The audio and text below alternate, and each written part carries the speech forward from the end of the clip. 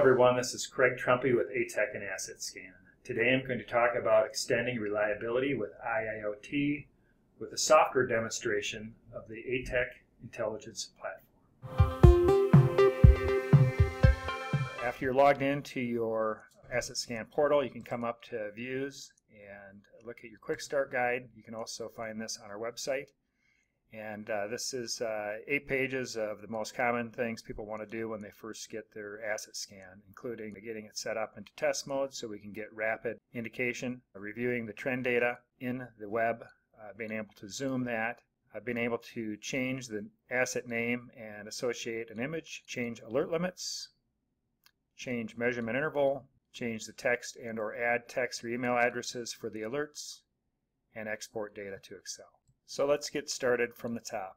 Uh, when you receive your asset scan, you can open the box. Uh, you can find a test button uh, in the upper right corner. You can press that. That puts it into a 10-minute mode where it will take a reading and update to the cloud instantly so that you know your system is working.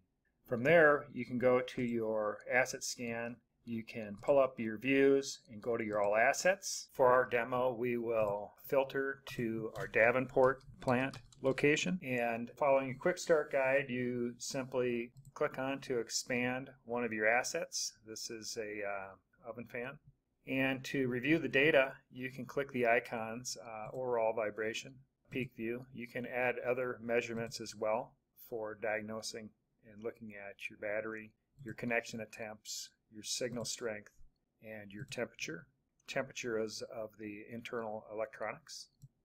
You can also review the timestamp in the date column here. Make sure that you have fresh data coming into your system. To zoom in time, you can go back and look at a number of days. You can turn on and off different trends just by selecting them on or off. And you can clear this graph and or close that graph and go back to your initial image. Moving on to the next phase, which is going to be changing asset name and image. With the right privileges, you can go to Administrative Console and plug on Admin and Assets. You can pull up your vibration transmitter of interest, press Edit, and you can go ahead and edit the name in any fashion you want. So that's editing the name, but as you uh, saw in there, there's a number of things that you can change and edit for the asset. Of course, a tag, a description, but you can also assign a location, uh, assign a specific image. So uh, doing this, I can just browse for that image and load an image from my hard drive. I can also add a metadata to the asset and describe what type of asset it is, sensor location, sensor type, lubrication type, CMMS ID, all uh, useful as we move into the artificial intelligence uh, to create a very prescriptive task on what to do when you get an alert. So let's uh, move back to our home and let's uh, show you how to change alert limits. To change alert limits, you press the Provision tab on the asset you'd like, and then you select the measurement of choice. Uh, in this case, we'll use the fault peak detection, and you select the alerts. In here, you can enable or disable your alerts and you can set the level that you'd like that alert to be. A couple points of interest on this page is uh, setting this ignore function. Uh, this ignore is an alarm clear on a pump or a fan that has a normal on-off situation. So we can set a threshold, download that to the app, so that on a startup, uh, in our case on a 24-5 operation, a start up every Monday morning with a asset that has an alert condition. One, it'll hold the alert condition uh, through the weekend, even when the asset is turned off. And two, when the asset is turned back on in Monday morning, it will not re-alert. There is also a hysteresis or tolerance band to help avoid over-alerting or nuisance alert. And there is ability to uh, just set an alert frequency, send no more than every number of hours. And you might select, I don't want to hear about this asset more than once a day. So again, uh, you know, significant attention to detail in terms of avoiding over alerting. Uh, next, moving back to the home page, we will look at how to change the measurement interval. Uh, in this case, you can configure the monitor, and so we're going to change the measurement interval, in our case, to every 15 minutes a faster update rate.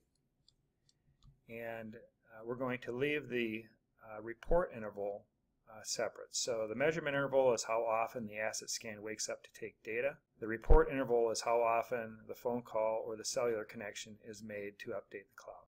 This update to 15 minutes uh, measurement interval will be uh, take place the next time the asset scan wakes up and makes a connection to the cloud to report its data. It will ask if there's any changes from the cloud and make those changes in its configuration so it knows to wake up. Next up in our quick start guide is to show you how to update your profile and change your email and text alerts. So to go to your username and update profile and in here you can see uh, what I have for a profile. You can enter a new name in for your email. You can enter a phone number in for your uh, text message and you can set alert escalation. In this case I have all alerts coming to me but if I was a, a maintenance manager maybe I wanted to just get warning alerts and above and I'd let my maintenance tech address all the minor issues. And if I was a plant manager, I may just select to have a critical and above alerts and let our maintenance manager and maintenance tech uh, take care of all the minor and warning situations. Additionally, there's an unreported alert, so the cloud is expecting to hear back from our asset scans, and it's watching for those. If it does not see a report from our asset scan, it will create an alert uh, letting the, uh, the portal know that, that the asset scan is not reported. I think it's relative to point out that Asset Scan Portal is unlimited users, and so we can provide not only view but alert out uh, with alert escalation as the base package. Moving on to the next piece is uh, exporting uh, data. So let's go back to our home page. From the home page, we go up to Views and Reporting. We can select what data we want to send out. In our case, we'll send out fault peak and overall vibration history. We will select our Davenport location and we will select just the item that we were monitoring and we can pull up however much history you would like to see. We'll put up a month of data and it goes out and generates the report with that data. From here, you can save it as a PDF or uh, comma delimited or Excel. In our case, we'll go ahead and save it as an Excel and export.